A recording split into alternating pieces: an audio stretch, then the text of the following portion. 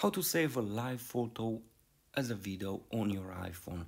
Just press the share button in your gallery and here in your menu you will have this new line save as video.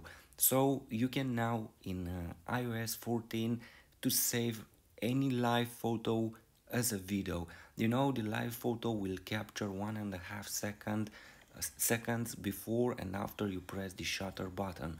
After you save this live photo as a video, you can edit that video and you can do anything you like with it. You don't have any restrictions and that's it, very simple.